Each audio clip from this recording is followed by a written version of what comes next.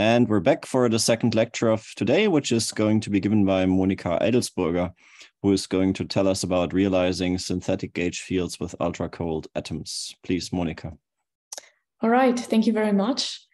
Um, yeah, uh, so after this great lecture by Anusha, now it's my um, my goal or plan to tell you a little bit about applications of um, these things for cold atoms.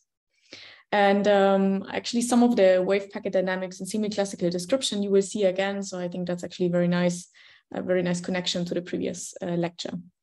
So before I start, um, since I think it's the the only cold atom talk, I wanted to briefly introduce a little bit about uh, how these systems work so that you get a better idea of um, what we have available in terms of tools and how, how these systems look like in general. And before I start, uh, let me just give you a very brief overview of the plan. Um, so essentially, I, I would like to introduce a little bit our platform and then introduce the technique of laser-assisted tunneling, which makes use of uh, Floquet theory, which you have heard about last week, but applied uh, specifically to our system, which then helps us to realize artificial magnetic fields and mimic quantum Hall systems. So in the end, I would like to show you how we can use uh, these synthetic gauge fields in order to measure Chern numbers. All right, um, so let's uh, get started with the description of the platform. And uh, usually we don't uh, really talk about this, uh, but I, I find it nice to to explain a little bit like what the what the different steps are that are needed in order to actually uh, generate uh, the system that we have available in the lab. So this is a picture that is actually taken from our cesium lab during construction. So by now it's uh, it's involved and it got a lot more complicated. But essentially, uh, you see here Till, who is one of the first students, uh, started um, uh, building this machine. So on the right here, you see this part that is wrapped in aluminum foil. Uh, that is the main uh, part of our vacuum system, our central uh, part of our experiment, where we put in a chunk of material, that's our atom source, and then we heat it up. So for cesium, it's around 90 degrees, but for ytterbium, it's, it's around 420 degrees, for instance. So we have this hot thermal gas of atoms and then uh, we have this construction of the vacuum system and the atoms simply diffuse into the vacuum system that we have built. So there's a couple of gauges, valves, and, and so on. And then one of the main things here is the steel tube. So this essentially kind of collimates the atomic beam. So the atoms fly along the steel tube. And then there's a counter-propagating laser beam, uh, which if it's near resonant, scatters a lot of um, photons uh, with the atoms. And then the atomic beam gets slowed down. And then we uh, have this first uh, cooling section. So unfortunately, something went wrong here. I'm sorry. So there's this first cooling section here in the back um, that you barely see. So there we shine in counterpropagating laser beams from all three directions in order to cool the atoms to microkelvin temperatures. So really all this happens inside the vacuum chamber. And the only thing that we use in order to cool the atoms is near resonant laser beams. And then in order to actually build a quantum gas microscope, I will show you images uh, about that. We would like to have high resolution objectives. So what you barely see here, so I've um, here a larger picture of the science cell, is a second part of the vacuum chamber. So we actually take the atoms, we transport them from one section of the vacuum system to another section, which is here this glass cell. And there we produce degenerate quantum gases. So there we cool the atoms further down to lower temperatures on the order of nanokelvin. And the reason why this cell is made of glass, so you see here all these 11 uh, side ports, is that we have very good access uh, for shining in additional laser beams and generating potentials for our atoms. So this glass cell, just to give you an idea, is, is relatively small. It has actually a diameter of a few centimeters. It's like five centimeters or so. So it's a really tiny uh, glass cell, which is the, the heart of our experiment. And there we have good vacuum conditions. We have like 10 to the minus 11 millibar, which in the end uh, determines the lifetime of our many-body system. Okay, so after um, all these different stages, laser cooling stages, we are left uh, with this degenerate gas of atoms. And depending on the species that we choose, we can either work with bosonic or fermionic atoms. And just very naively, in a nutshell, how you should think about these systems is that if you produce um, Bose-Einstein uh, condensates at very low temperatures, so below the critical temperature, they essentially occupy all the lowest energy state of your system. So if you have a harmonic trap, then all these atoms would occupy the lowest uh, Gaussian mode of your harmonic trap. And this could be between 10 to the 4 or 10 to the 6 atoms that occupy all the same wave function. Now, if you work with fermions, uh, we can gen generate degenerate Fermi gases. And in this case, if you work with uh, two different spin components, they would fill up all the energy levels below the Fermi energy. And this is schematically depicted over here. And um, for the experiment that I've just shown you on the first slide, for cesium atoms, this is actually bosonic atoms. So we generate a Bose-Einstein condensate that we then load into an optical lattice. And this is essentially the last cooling step in our final science chamber, the glass cell. And then the temperature that we reach here essentially sets the temperature, the final temperature that we can reach for our quantum simulation experiments. So from this point on, we try to be as adiabatic as possible. So we gently load the Bose-Einstein condensate or the degenerate Fermi gas into an optical lattice. And the optical lattice is generated by interfering far detuned laser beams.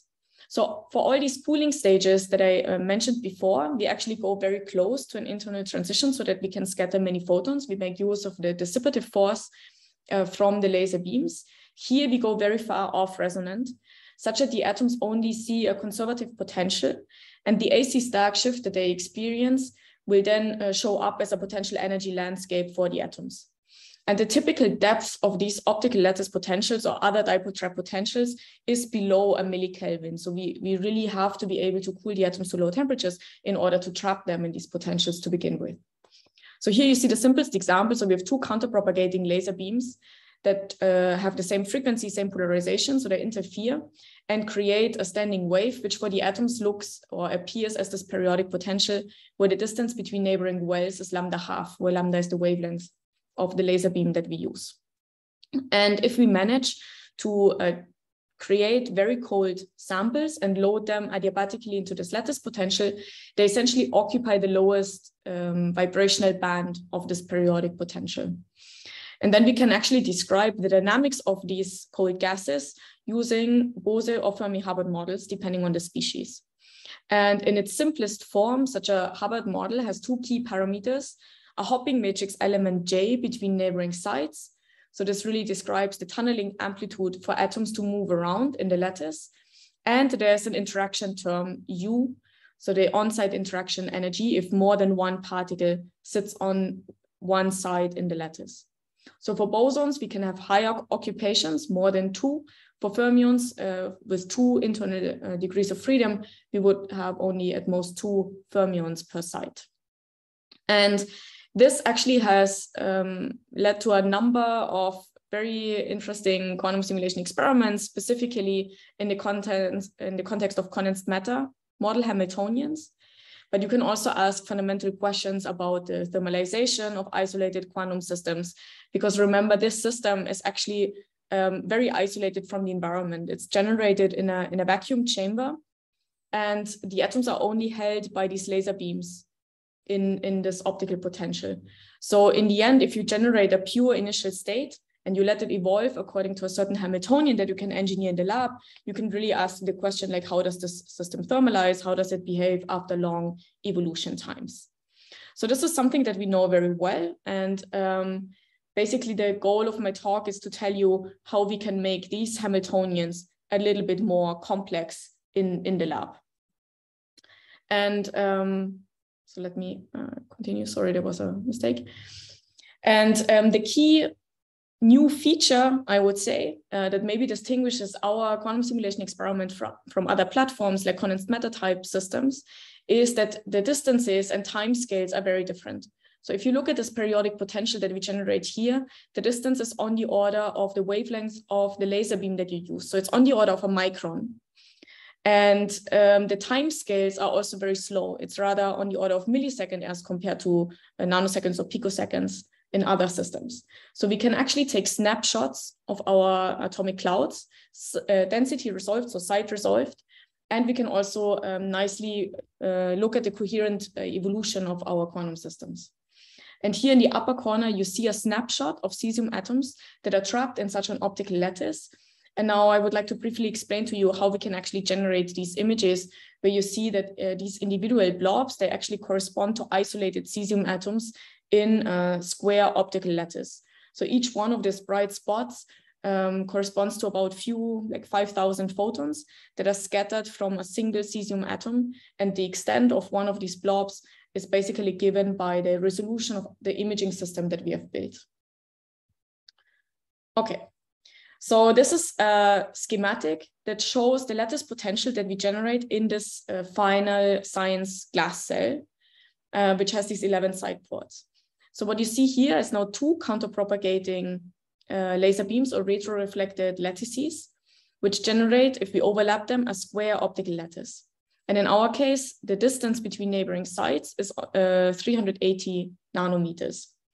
Now, in order to image the atoms after the quantum simulation experiment, what we do is we increase the potential, we make it very deep. And in our case, uh, here for this uh, particular experiment, it was on the order of 130 uh, microkelvin. Now, what sets the depth of this potential? What we have to ensure is that if we now scatter resonant photons from our atoms in order to be able to image them on a camera, we need to make sure that during the scattering process, um, when the atoms heat up, the temperature is still low enough compared to the potential so that they are not heated out of the trap. And we do that uh, by again performing cooling and imaging at the same time. So the same process that allowed us to cool the atoms in the first place and be able to trap them in these potentials now is again used in order to cool them while we are imaging them.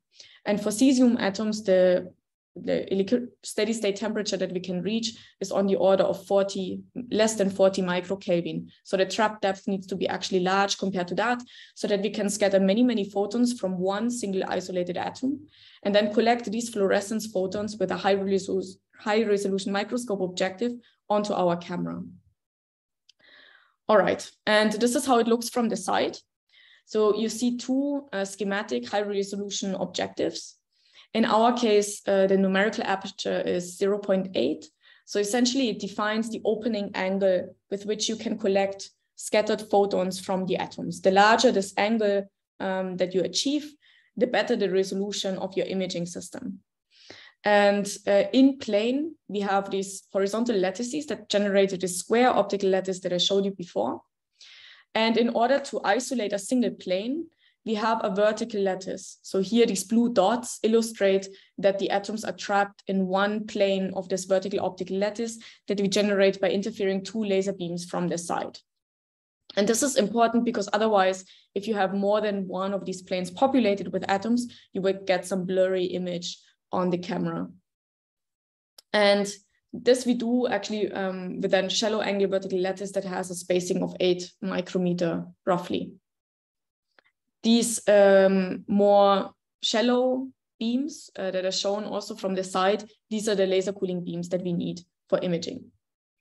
And then in the end, you get snapshots like this. So here you see um, a few isolated cesium atoms after collecting um, scattered photons for about one second. So each one of these uh, blobs is one cesium atom. And then you can take histograms in order uh, to evaluate like how is the fidelity for you to decide if a single lattice site is actually occupied with an atom or not.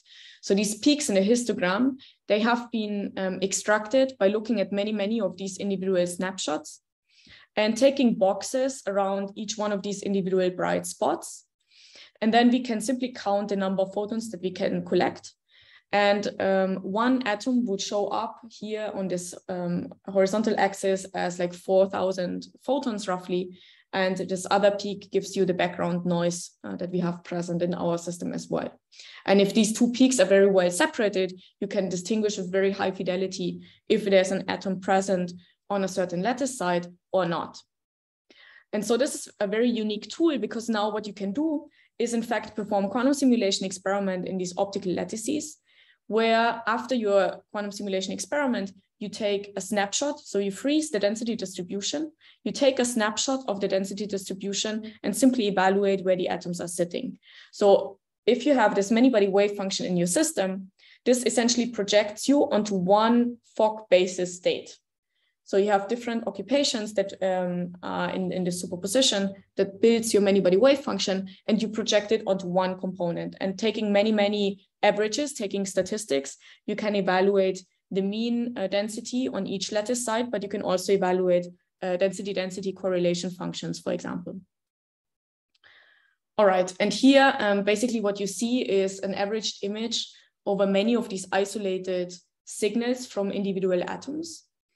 And this gives you the point spread function or the resolution of your imaging system. And you can see that in our case, um, we achieve something on the order of 830 nanometer. This is compared to the lattice constant, uh, which is 380 nanometer. So we are not quite at a single site resolution, but we have developed um, deconvolution algorithms and techniques that actually still allow us to access um, the, the single site density resolution in our system as well. Okay, so this is just in order to introduce to you um, essentially the setup or the um, platform that we are using. So we have these cold atoms that we can prepare in uh, different types of optical lattice potentials with which we can then perform simulations of the Hubbard model, for instance. And one of the unique observables that we have are these density snapshots. Okay, so but why are we interested in uh, using periodic driving or Floquet engineering? And one of the main um, motivations why uh, we have actually started to look into that is because you can use these techniques in order to engineer topological phases of matter. And this is also the example that I want to use in order to introduce um, the laser assisted tunneling techniques or periodic driving uh, technique that we have developed in our lab. So here's a variety of different examples for topological phases of matter. And um, I will be focusing on integer and fractional quantum Hall insulators, um, which is one way to motivate how the technique works. And if you think about integer and fractional quantum Hall insulators, of course, um, one key challenge uh, that you may, may find for realizing this in quantum simulators is that in condensed matter, they typically require the application of an external magnetic field. And since our atoms are charge neutral, that's of course very challenging. All right, so let me briefly remind you um, about the physics of the integer quantum Hall effect. So what you see here is actually a Hall bar geometry. So in condensed matter, you have a two-dimensional electron gas, you send a current through your sample, and then you can measure the transverse Hall voltage and the longitudinal Hall voltage. And in the presence of a perpendicular magnetic field, we know from classical physics that the transverse Hall resistance Rxy um, increases linearly with the applied magnetic field. However, now if we decrease the temperature to very low values and we crank up the magnetic field, you find that there are quantized plateaus that develop in the integer quantum Hall effect. And these plateau values, they're extremely robust and they actually depend on the topology of the energy bands that are occupied with electrons. So in a nutshell, what you find is that these plateaus are determined by natural uh, quantities, H and E, so the Planck's constant and the, the charge of the electron. And this integer number I is the Chern number or the sum of the Chern numbers of the bands that are occupied with electrons. So we have seen that in the previous talk. The Chern number characterizes the topology of the band. And I will get back to that. So here nu characterizes the Chern number of an individual band. And for this electronic system, we simply have to sum up all the uh, Chern numbers below the Fermi energy. And then this gives us the uh, response of the system. Now, um, having this in mind, of course, we need to be able to apply this magnetic flux. And specifically, we will use Floquet engineering in order to engineer such an effective magnetic flux for our cold atom system. All right, so let me briefly um, motivate this quantity of a topological invariant, which is the Chern number for electron bands. And I'm sure you have seen um, this analogy in one form or the other. I just want to emphasize two key points um, on this slide. So when people say that we can um, basically compare the topology of energy bands with um, the topology of geometric objects, I think what is nice that um, it shows you that the topology of these geometric objects, which is defined by the number of holes in the surface, makes this connection between a local geometric quantity and a global topological invariant.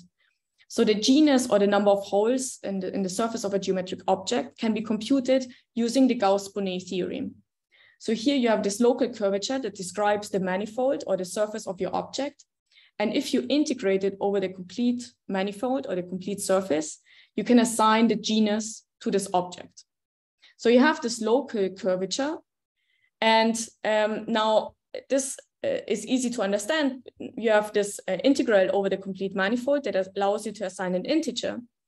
But now if you start deforming the surface, the local properties of the surface, of course, it does not directly modify the value of the integral, so the number of holes in your surface. In order to modify this quantity, you have to do something a little bit more violent, which is like punching a hole through the sphere in order to change the topology um, of this object. And this um, gives you a sense of the topological robustness, also in the context of energy bands for electrons. Now, in our case, this local curvature is actually the Berry curvature that you have seen um, in the previous talk. So the Berry curvature omega also tells you something about the local geometric properties of the band.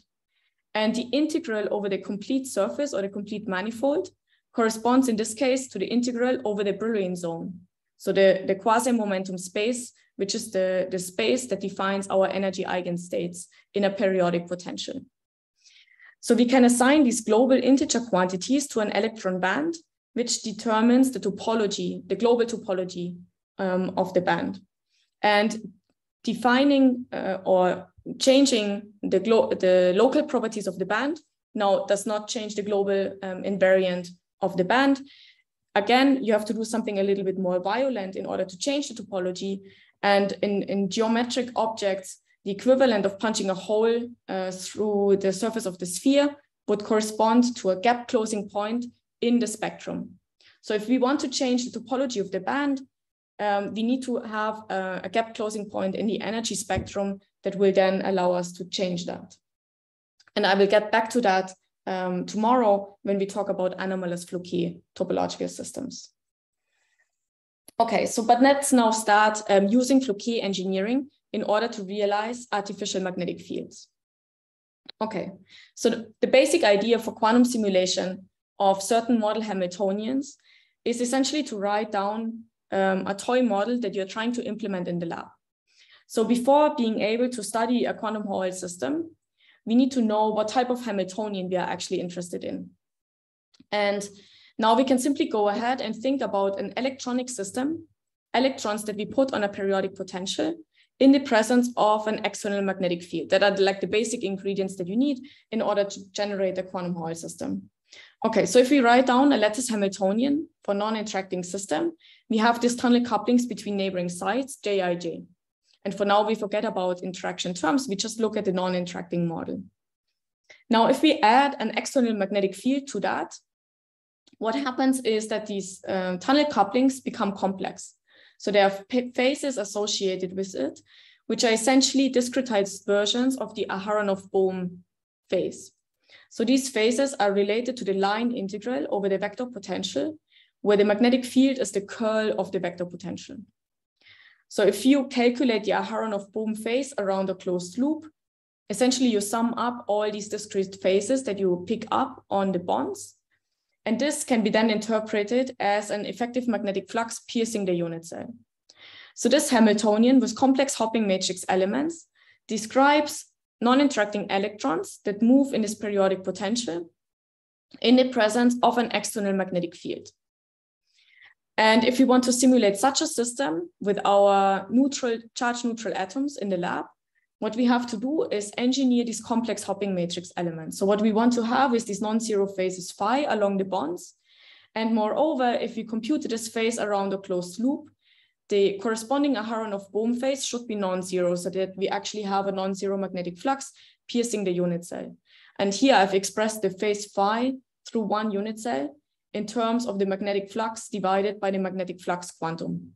Now, in our case, of course, the charge uh, does not have any meaning. So what we do is actually directly engineer the phases and then um, interpret them as magnetic fluxes. But what you can also see is that actually if we manage to engineer these phases, we actually also have the freedom to engineer arbitrarily large magnetic fields. because we will imprint these phases directly by hand. So they are naturally on the order of pi, which means that if we do that, uh, we can reach regimes where the magnetic flux piercing a unit cell is on the order of a magnetic flux quantum. And if you try to do something similar in condensed matter physics, this would actually mean that you need to apply extremely large magnetic fields on the order of a few thousand Tesla, which is of course very challenging in, in experiments. There are other ways to circumvent that. So there are super lattices that you can build, uh, which allow you to enter this high flux regime. But in general, it's not easy to do that. Okay, so the question is, how do we actually get uh, these complex phases? And this is where um, Floquet engineering comes in. Uh, you have uh, seen this very nice uh, lectures last week on the, the theory of Floquet engineering. So I'll just briefly um, go through the key ingredients uh, just to remind you about um, the, the tools that we need. So what we need to be able to do is actually engineer a time-dependent Hamiltonian, where t denotes the period of the drive. And then we will describe the dynamics of our system at stroboscopic times, so integer multiples of the driving frequency, and then derive in a high frequency limit such a time independent Floquet Hamiltonian HF. So for now, I will only consider the high frequency driving limit and not yet this other interesting regime where the frequency of the drive may be on the order of the natural timescales um, of the system. Okay, so we will derive this uh, time independent Floquet Hamiltonian. And then the goal is to find a driving protocol that allows us to engineer a Floquet Hamiltonian with interesting topological properties and in particular, we would like to have one that breaks time reversal symmetry, or in other words, has these complex phases that appear um, in the tunnel coupling. And then we will uh, have a situation where we have this quasi-energy band structure. So here's an example where the Floquet Hamiltonian would have this simple cosine dispersion. And then in the extended zone scheme, we have these copies that are separated by h bar omega.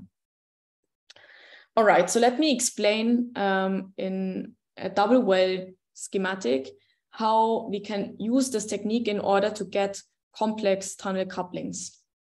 So this is the simplest toy model that you can come up with. We have two lattice sites that are denoted as A and B, a hopping term between them, and an energy offset delta between neighboring sites.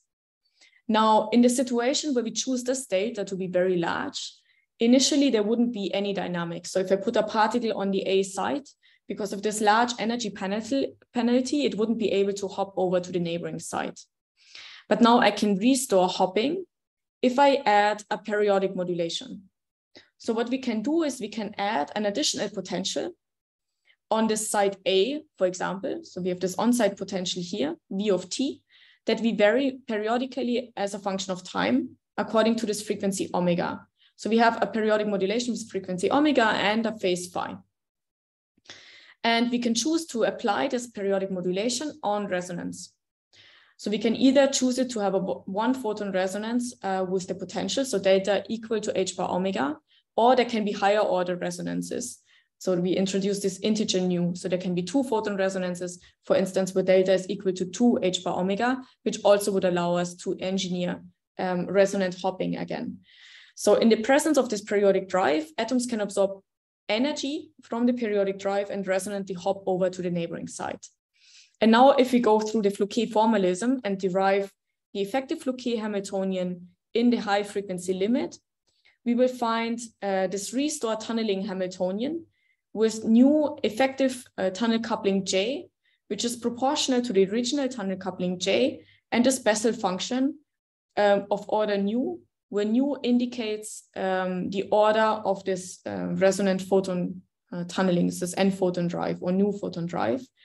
And on top of that, we find this complex term. So the phase phi uh, that originates from the phase of the periodic driving. So the argument of the Bessel function actually depends on the amplitude of the modulation and the modulation frequency. Okay, so this phase phi allows us um, to engineer complex hopping matrix elements. In essence, it's imprinted on uh, the tunnel coupling between neighboring sites. And we can actually measure that in the lab. So we can see that that actually works by making this uh, toy experiment and generating isolated double well Hamiltonians. So um, previously I showed you that we can generate this square optical lattice, but we can add an additional standing wave at twice the frequency. So we can generate this type of bichromatic optical lattices, where now you have these double well potentials along one axis, for instance, where now this uh, high barrier inhibits tunneling completely. So you can do uh, an experiment where in each one of these double wells, you put a single particle on the left side of this double well, and then simply watch tunnel oscillations between neighboring sites. And now we ask what happens if we add a periodic driving. So we can do that either in the symmetric case, but we can also explore these n photon processes um, that I explained on the previous slide. So we can look at uh, first order resonances or second order resonances, and then simply measure the renormalization of the effective tunnel coupling J effective that we get in the Floquet Hamiltonian. And this is how these traces look like. So this is what we've taken in, in the lab. So essentially minus one here on the vertical axis means that the atom is localized on the left side of the double well. And plus one means uh, we find it on the right side. So now nu equal to zero means we are driving a symmetric double well. So we see these tunnel oscillations between neighboring sites and we can extract the tunnel coupling just by fitting the frequency of this oscillation. And we can do that for different types of modulation parameters. We can vary the modulation amplitude and also change um, the resonant process um, that we engineer by applying a tilt between neighboring sites. So if we do that for various different uh, driving parameters, we find um, that indeed this renormalization of the hopping matrix element follows the Bessel behavior that we expect from Floquet theory. So what you see here with these red data points is the symmetrically driven double well, where because it's a zero order photon process, we expect uh, the effective tunnel coupling to vary according to the zeroth order Bessel function. Now, uh, for the first order tunneling resonance, we have applied uh, tilt between neighboring sites, and we resonantly restore tunneling with the periodic drive. So here you see the two uh, distinct features.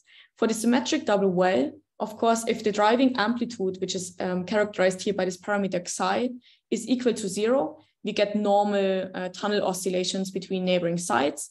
And if we increase the amplitude, it gets renormalized. And as a function of the amplitude, we can even achieve a situation where tunneling is completely suppressed. Now, if initially we have a tilt between neighboring sites that, suppresses tunneling, we actually need to apply this periodic driving in order to restore or initiate tunneling in the first place. So that's why for zero um, modulation amplitude, there's no tunneling whatsoever, and it uh, increases linearly with um, the driving amplitude for small values of the driving amplitude, and then it follows this uh, Bessel function um, of first order. And um, here, actually, what you see here is really just the theory, the Floquet theory overlaid with our data points. So there's no uh, fit parameter. It just works beautifully in this limit of high frequency driving. And uh, the effective tunnel coupling follows what we would expect from Floquet theory. Now, of course, this is just the Hamiltonian, the effective uh, renormalization of the tunnel coupling. But what we are actually interested in is the complex phase that we need in order to get topological bands. And in order to see that, of course, we need to do something a little bit uh, more non-trivial. We want to have a 2D lattice with complex phases that has an effective magnetic flux. And of course, this only makes sense in 2D. In 1D, we could always um, apply a gauge transformation and map it to a trivial double well with simple tunnel oscillation between neighboring sites. Okay, so let me explain to you how we can use um, this simple toy model of a driven double well in order to generate um, artificial magnetic fields in a 2D lattice. Okay, for that, what we need is first an energy offset that inhibits tunneling, similar to the tilted double well. And here I will restrict the discussion to uh, the first order resonance. So we will actually apply this energy offset delta between neighboring sites that is large compared to the hopping. And then we will apply a modulation frequency uh, that is resonant. So h bar omega is equal uh, to the energy offset delta. So this happens along one axis, here along the x-axis, and perpendicular to that, we will apply just a bare uh, lattice Hamiltonian, so just a normal lattice with hopping jy. Now, in order to restore tunneling between neighboring sites, we will apply two additional laser beams that are again far off resonant to any internal transition. So they will generate an optical potential according to the AC Stark shift. And we choose these beams such that they have slightly different frequencies. So omega 1 and omega 2 are different. In particular, the difference between them matches the energy difference between neighboring sites delta. Okay, so now in order to understand what happens, we write down the local time-dependent potential that is generated by the interference between these two beams. Okay, so if I go ahead and do that, I will find that apart from some constant terms, I have an amplitude V0 that, that is determined by the depth um, of the potential generated by the two beams. And I will have an interference term um, where omega is the difference frequency between the two beams. And there's a phase phi, which actually depends on the position in the lattice. And let me uh, show you in a schematic intuitively where this phase comes from. So uh, first, let me explain in words. So this interference between these two laser beams at different frequencies, omega 1 and omega 2, generates an interference that is diagonal with respect to the square lattice, and it will uh, generate a running wave across the lattice. So if I plot the potential or the phase front at one specific point in time, you see these gray points. So this the gray line here, diagonal across the lattice, would, for instance, correspond to a wavefront uh, with zero phase. And then the shading uh, illustrates how the phase advances across the lattice. So this um, neighboring uh, diagonal line that is again uh, gray uh, would correspond to a phase equal to 2 pi. So if you follow um, along the y-axis, uh, the phase front of this interference between the two beams, you would see that it advances for this specific example by a factor of 2 pi every four lattice constants. You also see that here on, on the cuts along the x-axis and the y-axis, you see the intensity uh, profile and it's periodic um, uh, every four lattice constants where it advances by a factor of 2 pi. And this is just one snapshot. If you would uh, let it go as a function of time, you would see that it runs um, across uh, the, the lattice in a diagonal way. Okay, but in other words, this actually means that this periodic modulation that we apply this cosine omega t plus phi um, is very similar compared to the double well toy example that I gave you on, on the uh, previous slides. And this phase now depends on the position in the lattice. But that's great because in the end, of course, we want to have something where the spatial dependence um, gives rise to a non-zero phase if we go around a closed loop. And if you compute it, it's actually given by the projection of the wave vector difference between the two beams onto the laser assisted tunneling direction. And um, what is shown here below is, is actually the equation, again, um, of the Floquet Hamiltonian that we can derive in this driven system. And you will find that along the y-axis, even though there was actually no um, potential tilt that inhibits tunneling, um, it is also renormalized according to the zero order Bessel function of a driven uh, symmetric uh, situation. And along the x-axis, we get these complex phases. So the laser assisted tunneling in the presence of the tilt gives rise to complex phases along the x-axis there's real tunneling along the y-axis. And then um, we have these phase terms on the red bonds. And if we compute the phase difference between the two, this is what determines the flux per unit cell. And what you also see is that um, this is actually fully tunable because it's given by the wave vector difference between the two red beams. So depending on the orientation, the geometry between the uh, beams and the underlying lattice, you can actually engineer any uh, type of flux that you would like to have in your lattice. So this phase uh, phi is fully tunable. Um, in this specific example, it's set to, to pi over 2. And in the end, this allows you to engineer the famous Hofstadter model. So this is um, now written in the Landau gauge. So essentially what the Hofstadter model describes is a square lattice in the presence of a homogeneous magnetic flux. So you see here along the X and Y axis, we have tunnel coupling J between neighboring sites. Along the X axis, it's a complex hopping and the phase advances by n times phi. So n is the lattice index along Y and m is the lattice, lattice index along X. So for the example of phi equal to pi over 2 that I've given um, on the previous slides, you see that this phase factor of the complex hopping increases linearly as a function of the y coordinate. And now if you were to compute the uh, phase around a closed loop, you find it's equal to pi, or in general, equal to um, the flux phi per unit cell. Now, uh, this actually changes um, the band structure of the lattice. So if you now um, go ahead and calculate the band structure, you have to take into account that the unit cell is modified due to the presence of uh, the artificial magnetic flux. Now, if you first ignore Um, the artificial field, you have a normal square lattice with a cosine type dispersion along x and y. If you add the vector potential or the magnetic field, then you can actually show that now the unit cell is increased and the new magnetic unit cell contains an integer multiple of a flux of 2 pi. So in this specific example of a flux of pi over 2, it would be four times larger as compared to the original unit cell of the lattice. So this actually splits uh, your tight binding band into magnetic subbands. And this is what gives rise to this very famous single particle Hofstadter butterfly energy spectrum. So what you see here is actually the energy of the lowest tight binding band of the two-dimensional square lattice um, on the horizontal axis. For the uh, square lattice without flux, the bandwidth is given by J. And on the vertical axis, you see the flux that is applied per unit cell. So phi b in, in units of the magnetic flux quantum. And for our specific example of the flux of uh, the phase of pi over 2, this would correspond uh, to this factor 1 over 4. So 0.25 in this Hofstadter um, butterfly spectrum. So it's these four blue uh, lines that I've indicated here. So in the case of pi over 2, the lowest tight binding band actually splits into four subbands because the magnetic unit cell is four times larger as compared to the original unit cell of the lattice. So we have the lowest type uh, lowest magnetic subband over here, which is actually topologically equivalent uh, to a Landau level. It is characterized by a Chern number equal to one. And now by tuning the geometry of these lasers as the tunneling beams, in principle, you can explore any value um, of the flux per unit cell that you would like to have.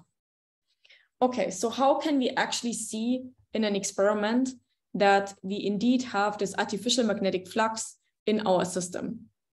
And here I would like to walk you through a little toy experiment that we have um, performed in the lab now about uh, 10 years ago. And um, the, the first thing that may come to your mind uh, that allows you to test if you can actually mimic magnetic fields with your charge neutral atoms in the lab is to see something like cyclotron orbits. So you know that charged particles in the presence of a magnetic field, they evolve on cyclotron orbits. So we can now try to see something similar in uh, a lattice realization. And for that, we can again um, generate tiny lattices. Now, um, instead of double wells, we will actually generate little plaquettes. So similar to what I've shown you before, that we can isolate the dynamics to only two sides in the lattice, we do that along two directions, and we isolate all the dynamics to a little uh, plaquette that consists of four lattice sides. So the hopping barrier between neighboring plaquettes is large enough that atoms cannot tunnel between neighboring plaquettes. And now the toy experiment works as follows. Again, you put a single atom into such a tiny plaquette and you watch it evolve as a function of time. So initially, this gray blob shows you that the atom is delocalized over A and D sites. And then we suddenly let it tunnel over to the neighboring bond. And at the same time, we also turn on the magnetic field, magnetic field, which is here indicated by this flux phi.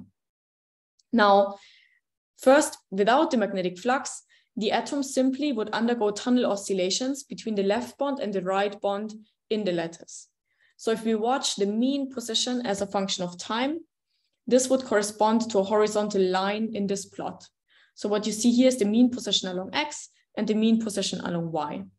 So originally the atom is delocalized on the left bond.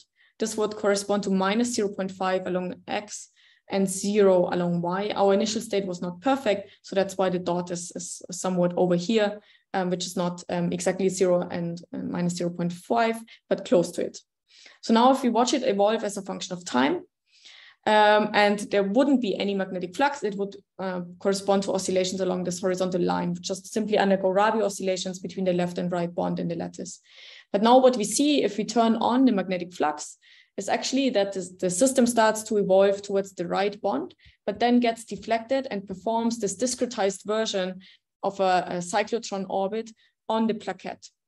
And from this, we can actually directly extract uh, this artificial flux that was engineered using the laser assisted tunneling technique um, that I've explained to you on the on the previous slides. So from this experimental data, we actually um, found a value of 0.73 times the flux pi over 2 um, that I um, explained with the previous uh, laser beam configuration. Okay, so this is just to um, explain uh, the type of methods that we use in the lab.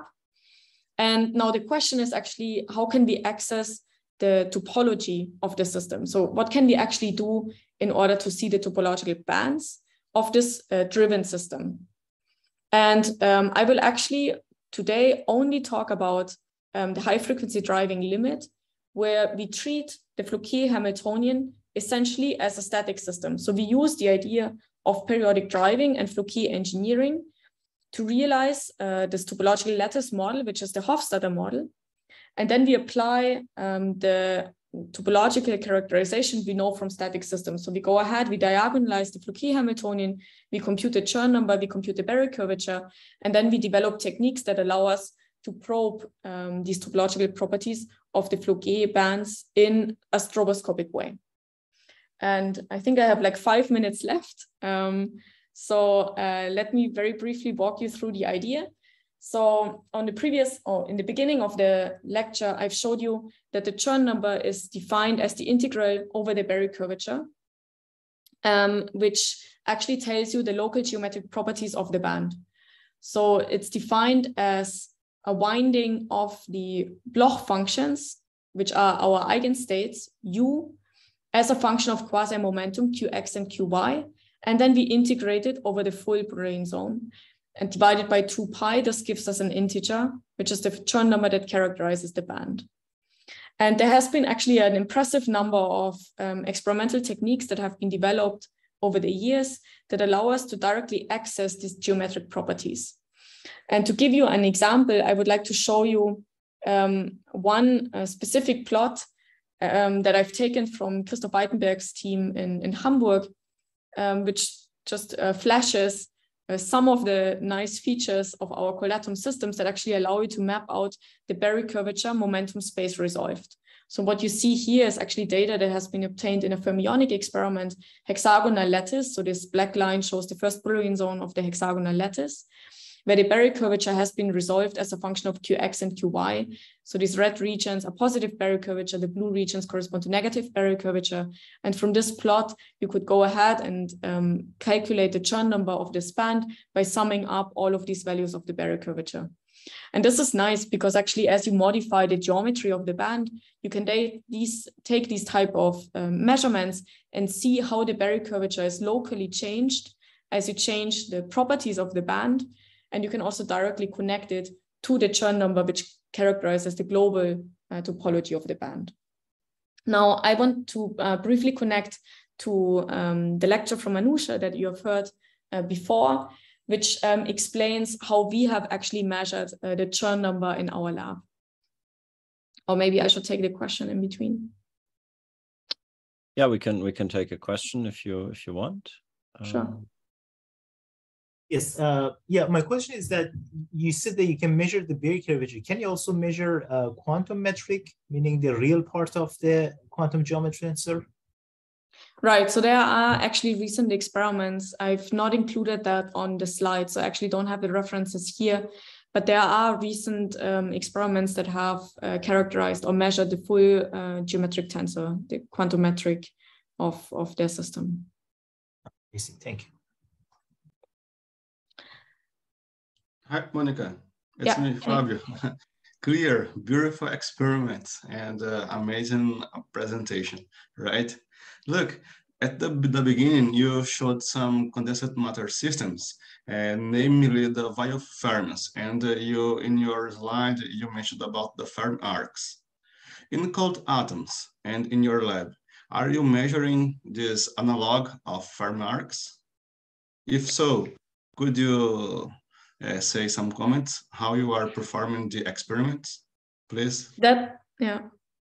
So this is actually much more challenging. Um, so actually, as as you will see, I'm I'm even uh, just restricting everything to to single particle dynamics, like two dimensional lattice, topological lattice models, Hofstadter models, and um, uh, the Haldane model. Uh, generating uh, these more complicated systems, there there are ideas out there, um, but uh, this is very very challenging. So I think that's a a whole discussion in itself on how one could first engineer these systems and then even see uh, these Fermi arcs in, in such a cold atom experiment. It's, it's not easy to do.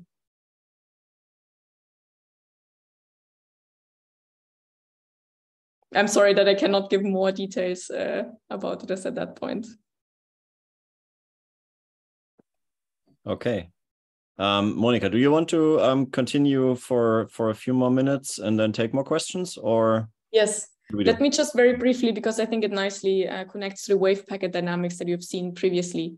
Um, so the basic idea was to find a measurement that is more closely related to condensed matter type uh, transport measurements, um, which I have explained previously. So we send a current through the sample, we measure transverse voltage, and we, um, we will see that there's actually an analog in our synthetic systems uh, which you can understand based on the semi-classical wave packet description uh, that Anusha presented in, in, her, uh, in her lecture. Okay, so how do we actually do that? Um, we first load the atoms into a topological band. So in this case, we choose um, this lowest band with Chern number equal to one um, that I've shown you previously. So it says flux pi over two. We have these four magnetic subbands, and we load our atoms into one of these lowest bands of the Hofstadter model. And now in order to extract the Chern number, we apply a force. Uh, so we actually tilt the lattice and the force changes now the quasi-momentum linearly as a function of time. And uh, in the language of the previous lecture, uh, this is in the low uh, frequency limit. So we adiabatically change the quasi-momentum as a function of time to explore um, the, the distribution in the lowest band. Now the dynamics in the semi-classical description will be assigned like a mean uh, position and a mean quasi-momentum to a wave packet, there's a band velocity, which is given by the derivative of the dispersion, as you have seen in, in the previous lecture. But then there's also this transverse contribution, which is proportional to the Berry curvature of the band. And this gives rise to this transverse deflection of the cloud, um, uh, transverse to the force that we apply to our system. And now if we actually take snapshots of our cloud, we can directly learn something about the geometric properties of the band.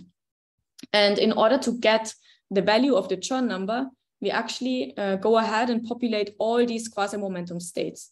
So we generate a filled band. And um, for fermions, we can actually do that by setting the Fermi energy within a spectral gap. In our case, we have worked with bosonic atoms. So in order to fill all the quasi-momentum states, we choose to work at a temperature that is uh, larger than the bandwidth of this band that we are interested in studying. So in this case, if we actually manage to populate all the quasi-momentum states, um, the center of mass motion of the cloud is given by the integral over all the quasi-momentum states that are occupied. So if we go ahead and analyze the, the center of mass motion of our cloud, so looking at the in situ snapshots, then we compute the average of this anomalous velocity, which is proportional to the Berry curvature. But taking the integral of the Berry curvature of all the quasi-momentum states directly gives us the Chern number of the band. So what we expect is actually that if we take in situ snapshots of our cloud, the atoms will simply move sideways compared to the direction of the force that we apply. And they evolve linearly as a function of time. And the slope is determined by the Chern number of the band all the other quantities that we know in the lab. So A is the lattice constant and F is the strength of the force that we apply to our system. So if we go ahead and do that, we get data like that. So here you see the differential shift, the center of mass shift of the atomic cloud as a function of time. We call it this Bloch oscillation time because the atoms actually undergo Bloch oscillations in the direction of the force. But in a sense, it's, it's just the evolution time t that appeared in the previous um, equation. And then from this slope, this linear evolution of time, you can directly fit the Chern number of the band. And the snapshots that we um, take in the lab essentially look like the ones that are shown here on the right. In order to be less sensitive to systematics, we first uh, take a snapshot of the in situ displacement for one value of the flux, then we turn the direction around the atoms will deflect, be deflected in the opposite direction. We subtract the two positions, and this gives you this right uh, red and blue blobs, which is just a difference image between the two, from which we evaluate the differential shift. So indeed, from this uh, very nice linear behavior, we, you can then extract the Chern number of the band, which in our case uh, here uh, gave a value consistent with one. Um, there's some uh, caveat to that, so it works beautifully, uh, but I have neglected interactions so far. And this is also something that has been mentioned already um, a number of times. Um, in the case where we have uh, non-zero interactions between the atoms, there are additional dynamics. And specifically in this particular experiment, these additional dynamics lead to higher band populations as a function of time. So if you let this system evolve uh, for longer times, uh, more than these 50 milliseconds that I show here, you will see that there's significant repopulation between the bands. And this deflection will actually cease and we reach an, an in, so-called infinite temperature state where all the uh, Floquet bands, uh, these mini Hofstadter bands, the four bands that we have generated, are uniformly populated. And because the Chern number of all these bands together is equal to zero, the deflection, this whole deflection will cease. So if you uh, look at the plot for longer times, you actually see something like that. So this is the same measurement. Previously, I stopped at 50 millisecond. If you watch it evolve for um, longer times here, up to 200 milliseconds, you actually find that there's uh, no Hall deflection anymore. And this is explained by the band population. So we can actually measure the band population. So this is shown here. The upper plot shows you the population of these four magnetic mini bands. And at the end, after these 200 milliseconds, they are all uniformly populated, um, which explains why um, after long evolution times, there's no Hall deflection anymore present in our system. But okay, to, to wrap up, um, this is to show you that, um, in fact, we are able, uh, using this Floquet engineering techniques, to generate these topological lattice models.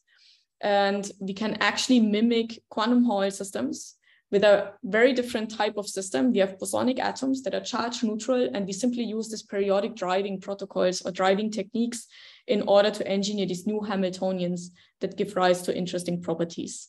And um, with this, I, I stop uh, for today. Thank you very much, Monika, for this uh, very clear lecture. That was fantastic. And uh, we have time for uh, a few more questions from the audience.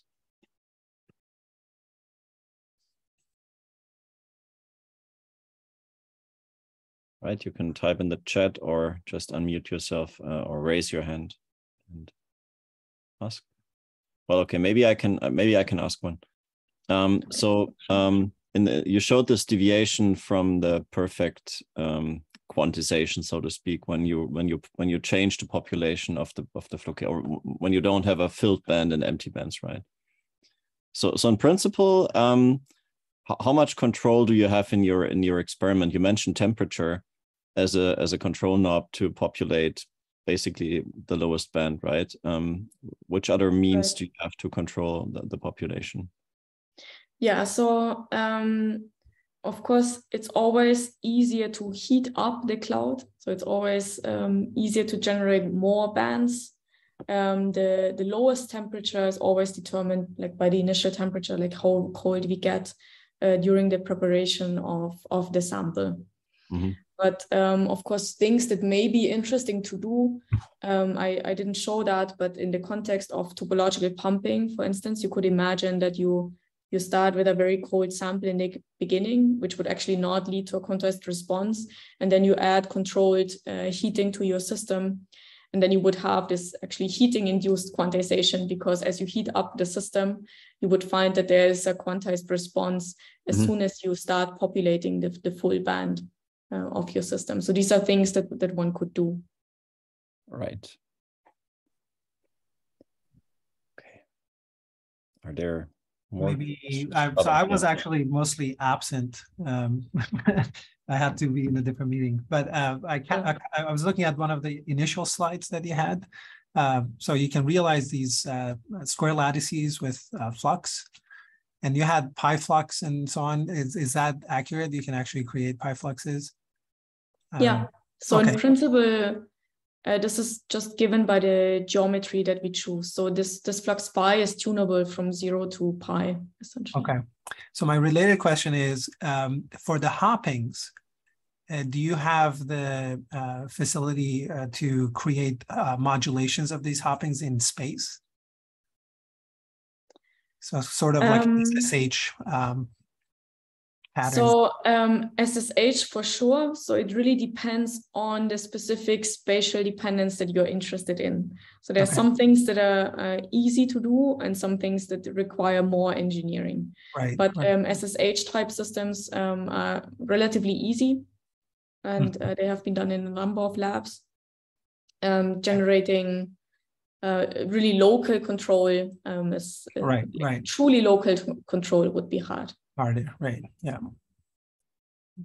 Yeah, I'm, I'm, I'm sort of personally interested in sort of SSH global, but with maybe say half of the system somewhat different from the other half and, and so on. Um, anyway, but, but I can, I can send you a message about that. Yes, later. yes, yes, Thank because you. it depends on uh, what, what you mean by the one half is different. yeah, right.